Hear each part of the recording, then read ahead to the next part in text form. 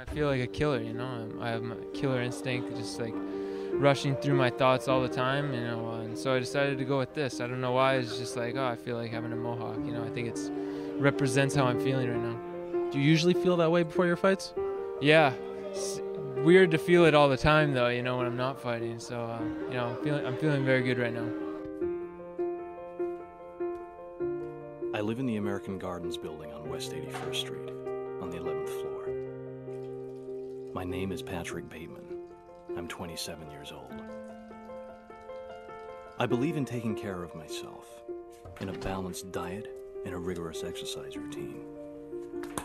In the morning, if my face is a little puffy, I'll put on an ice pack while doing my stomach crunches. I can do a thousand now. There is an idea of a Patrick Bateman some kind of abstraction. But there is no real me, only an entity, something illusory.